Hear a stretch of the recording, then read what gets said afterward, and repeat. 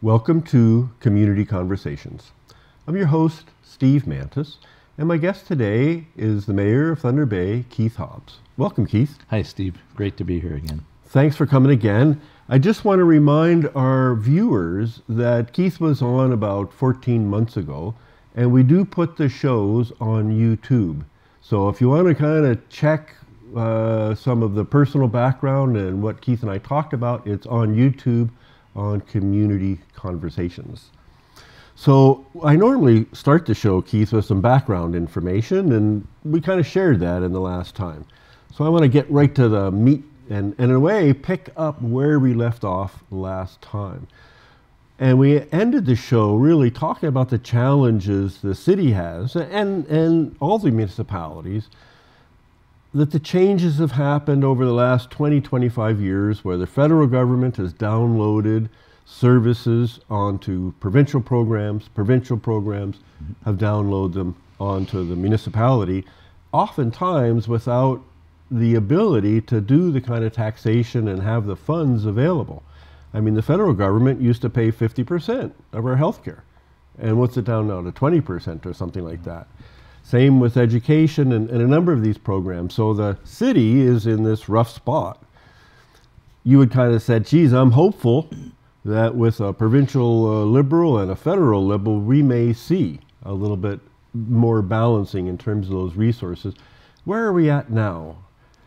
Well, Steve, I think you saw a prime example of uh, what I was talking about when I said the perfect storm. We have uh, three cabinet ministers, uh, one federally and two provincially, and we ha also have a federal MP here now in the city. And uh, just this week, uh, we were recipients of $6 million uh, for our transit infrastructure. And those are the kinds of things I was talking about is um, instead of downloading, uploading to the upper levels of government. And uh, that's a classic example. That was a windfall like we haven't seen probably since 2009 when the uh, funds were allocated for the waterfront.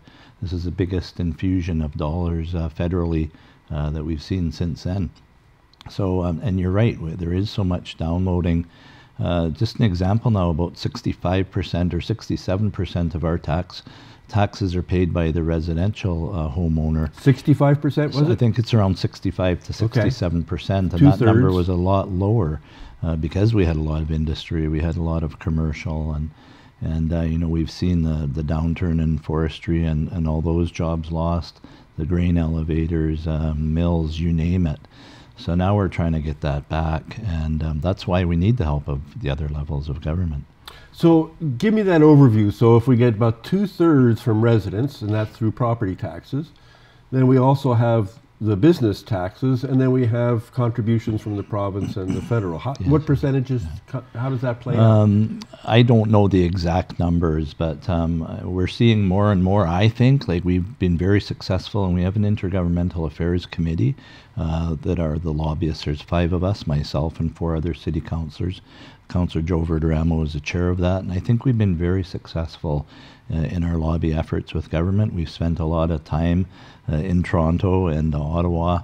Um, you know, you saw the attendance record for council coming out last week, and uh, I missed 17 meetings, but those meetings were at other, uh, you know, federal and provincial uh, uh, meetings with ministers and other functions uh, to try and promote Thunder Bay. So um, we're doing that in a big way. I think we've stepped up way higher, and, and we've raised the bar on that and we're seeing the benefits of it. Uh, just we just received a million dollars for sport tourism for the under 18 baseball, and uh, those are the kinds of things that we lobby for constantly, and uh, we're seeing the success. So as long as we have this perfect storm, as I call it, I think we're going to be in good shape.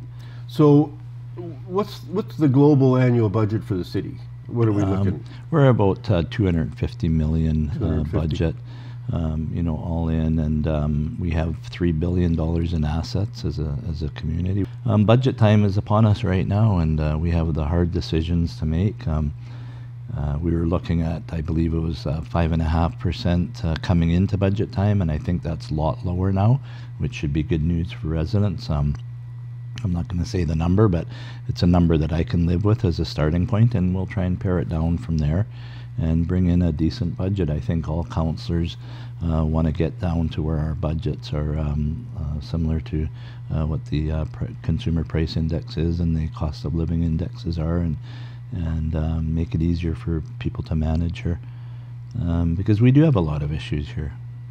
Well, and that kind of balance or the dance with our provincial government and our municipal, for example, um, we're just now looking at the province coming up with an idea of a basic income mm-hmm. that would raise the rates for people who are on social assistance. Mm-hmm. And we know now the rates are so low that people struggle to be able to provide food for their family, and this creates other issues that then sometimes fall onto the lap of the city. Yeah, exactly. Homelessness is one of them, and uh, you know we just did our point in time count. Um, you know, with the uh, twenty thousand, um, um, you know, homeless uh, count, and um, we found that we probably have about 300 identified homeless people, but I would say triple that number, double or triple that number. Uh, it, it's a huge number, and uh, most of the people that are without housing um, are single male adults. So the good news is um, DSAB has uh, housed, uh, they built 16 uh, additional housing units last year, and uh, we have another 20 planned. First of all, Thunder Bay, uh, in case people don't know, uh, contribute $18 million. We used to have Thunder Bay housing, and we dealt that off to the DSAB. So through the, the DSAB, um, we, we pay a levy of about $18 million a year. And uh, so 22 more housing units are planned to be built in 2017, which is good news. And the spin off from that, I sit on the uh, shelter house board, and uh, we're seeing numbers decrease for the first time in a long time. Uh, the number of users of shelter house. And that's good news because we all talked as a board that we'd love to shut the place down. And to shut the place down, we need these housing units. We've met with Minister Ballard through our intergovernmental affairs, uh, and he is working closely with the federal government. Again, that perfect storm. And um, money is now flowing from the province and the feds.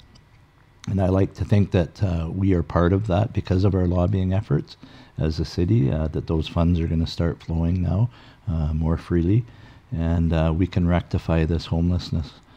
And the product of homelessness is crime um, hospital stays, uh, you know, a, a, real tax on our services, and, and uh, then who gets the brunt of that? The taxpayer.